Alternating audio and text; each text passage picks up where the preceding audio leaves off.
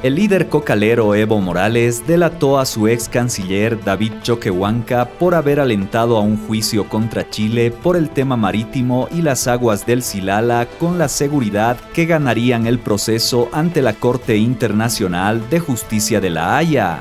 Morales comenzó su relato indicando que Choquehuanca había pedido un descanso en ese entonces en 2009, afirmando que antes de marcharse dejaría Bolivia con mar, en un hecho que causó gracia en Morales y sus personeros, dando a entender que daban por hecho una derrota contra Chile en el litigio por el mar. Y el David Choquehuanca, eh, el canciller, dos cosas que me acuerdo. Esa le dijo, David, presidente, yo solo voy a estar hasta diciembre de este año. Si te digo, antes del 23 de marzo, 22, 23 de marzo. Diciembre de este año. Voy a descansar, me voy a ir. Hasta diciembre voy a dejar a Bolivia con el mar. Y algunos sorprendidos, algunos nos hemos reído, no es sencillo. ¿Quién le ha comentado, metido la cabeza, no? Vamos a ganar esta batalla, porque estoy preparando los actos, discursos, debatiendo qué mensaje dar. para eso la reunión, dice David, yo hasta diciembre te voy a acompañar, me voy a ir a descansar, pero hasta diciembre voy a dejar a Bolivia con el mar, con mar. ya, a veces algunos técnicos me meten una cosa, ¿no?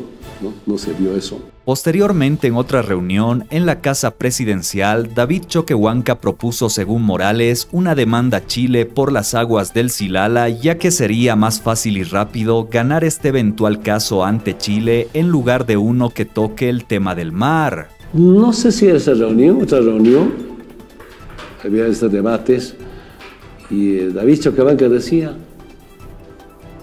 demandar por Silala demandando posibilidades, más rápido vamos a ganar, más fácil que el tema del mar, decía. Y nosotros no, no, decidimos ninguna demanda, pero eh, estaba negociándose y, lanzó eso, claro, cada ministro, cada autoridad tiene su equipo de trabajo, seguramente su equipo de trabajo dijo, si demandaríamos a Chile, ganaríamos más rápido, más sencillo es ganar el Silada. Bueno, escuchamos solamente, tiene derecho a opinar, no, no se decide nada. Sin embargo, también Morales destacó la agenda de 13 puntos que la Cancillería boliviana a la cabeza de Choquehuanca había acordado con Chile, donde según Morales se logró un pacto para que Chile pagase el 50% del uso de las aguas del Silala a Bolivia, pero el Comité Cívico Potosinista se opuso a dicho acuerdo, causando que al final el trato con Chile no se llegue a concretar. En los 13 puntos con tiempo de bachar, excelente trabajo, que reconocer por supuesto, manejaba el compañero David Choquebanca, la demanda siempre informaba, ya uno más, uno más, a la agenda que se hace. Y a, creo, 2008, 2009 se ha negociado, se ha negociado con Chile para que reconozca. Y gracias ahí, debo reconocer, gracias al hermano David, Choquebanca, canciller, su equipo nos comunicaba, ya, se dio quieren pagar de aguas. Aceptó. Dijo, ¿hasta dónde? A ver, sigue jalando y que pague. Ya, aceptó hasta ahora pagar el 50%. Y después pagar, si él sigue, sigue la negociación, demostrar que paga 50% de aguas de Silar que se van al lado chileno. Y ahí ahora decíamos, hay que acordar eso. Y es un paso importante. Y lamentablemente los dirigentes de Concipo no aceptaron. Están los periódicos. Sí, sí, ¿No? nosotros aceptamos, pero como a veces, a veces la gente perjudica. Se firmaba porque estaba dispuesto a firmar pagar el 50%. Y ya se puede calcular más o menos, pero en un documento.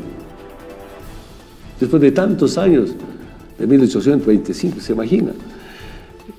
En tiempos, 3 de junio de, de 2009, líder regional de, Potosí rechazan acuerdo con Chile sobre agua desilada. 7 de julio de 2009, CONCIP rechaza la compensación del 50% por agua del Silala. Así podemos repasar un acuerdo. Estaba dirigente el uh, tal Celestino Condori. Yo hablé. No sé si hablé telefónicamente. No pueden tener esta oportunidad. Nada.